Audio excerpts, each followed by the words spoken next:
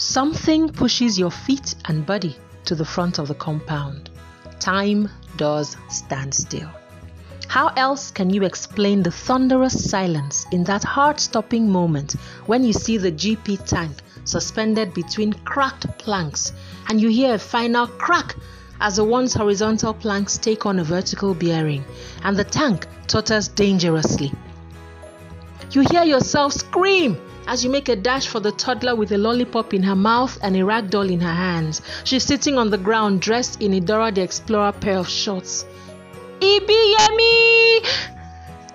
Refreshing, spicy, and scintillating. Get a copy of Efo Riro and other stories on Amazon and Okada Books and in major bookshops across Nigeria.